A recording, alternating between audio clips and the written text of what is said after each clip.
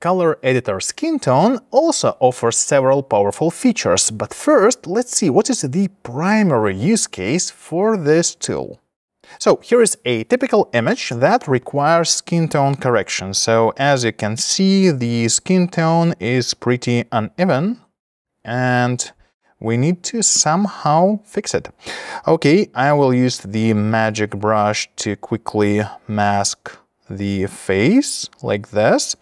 And now I'm going to click on some area that looks pretty natural. If there are no such areas, well, that's okay. You can always change it later, but just if there is some area, like this one, let's say, it's better to pick this area first.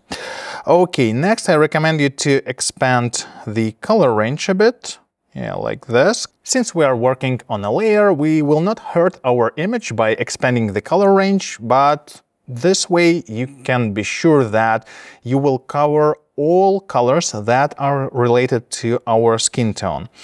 Okay, now you need to move the hue uniformity slider. Well, let's start with 70 or something like this. Yeah, actually, pretty nice almost out of the box. So yeah, I would lower the impact a bit like this, but the difference, yeah, is actually really noticeable. Still, in some cases, you might need to adjust the sample point manually, and you can easily do this by holding down the left mouse button and moving this little dot located in the color wheel. So yeah, I actually think that our initial sample was the most correct one, but maybe something like, hmm, yeah, maybe something like this will also work well. Yeah, and also you can adjust hue and saturation after this correction. So yeah, maybe I will adjust saturation a bit and yeah and lightness as well. Yeah still the original sample was just great. So yeah. Yeah something like this. Let's see. Hmm.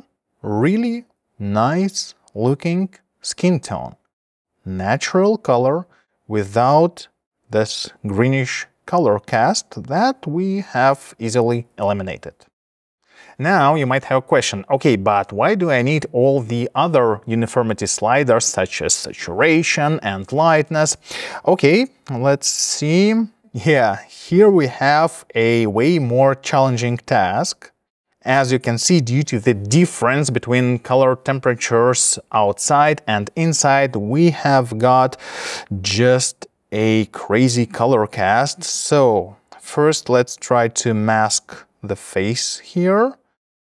Yeah, like this. And now I will try to use the same method. So I will click on a nice area of my skin tone. I will expand the color range and now I will use the hue saturation uniformity and well it works, but unfortunately, mm, yeah, it's not enough. It's just not enough. So in this case, we need to use two other sliders.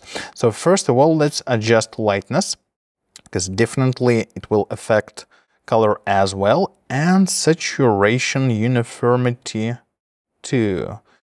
So,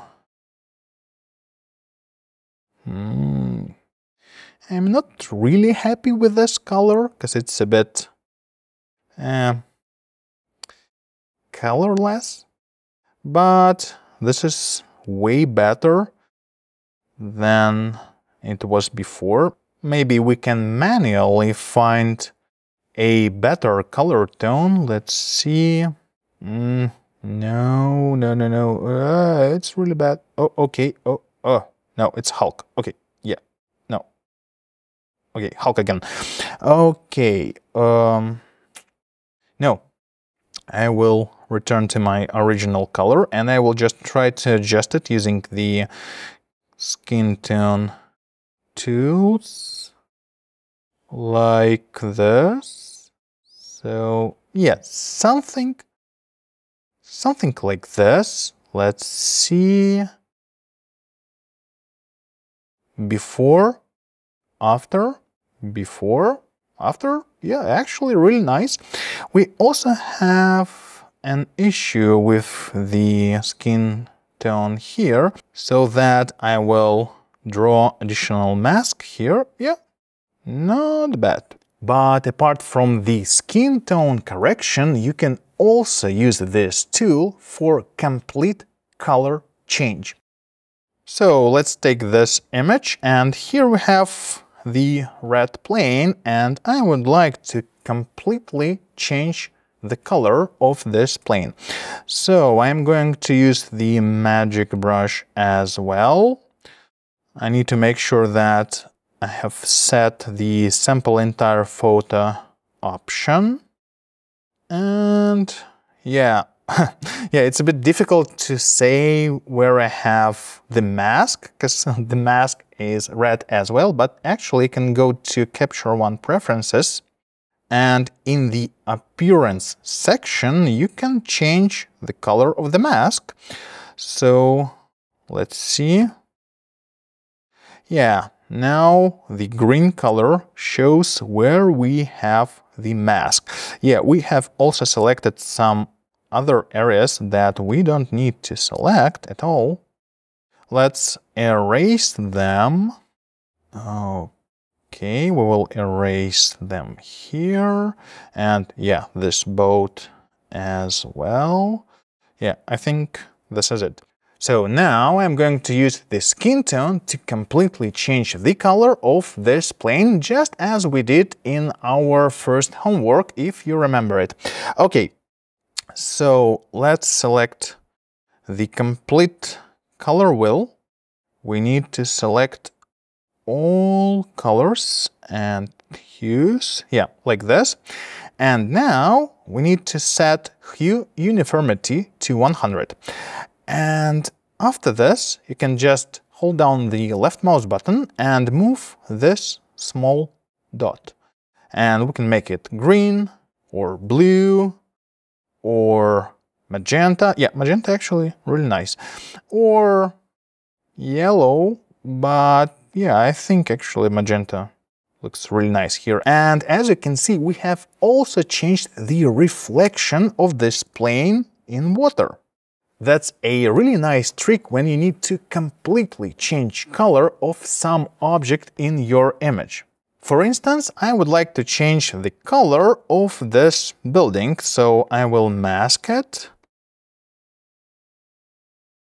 like this. And now all I need to do is just to select the full color wheel in the color editor skin tone, set hue uniformity to 100, and now I can easily adjust the color. So yeah, maybe something like this. Yeah, I will make it a bit darker and maybe less saturated. Yeah, something like this. Let's compare before, after. Yeah, really nice. And to simplify such color correction, I have prepared for you 10 color shift styles that you will find in the lessons materials. All you need to do is just to mask an object and then choose the color you would like to apply, then right-click on a style and choose Apply to selected layer. Ta-da! I think this is the simplest way to completely change color in Capture One.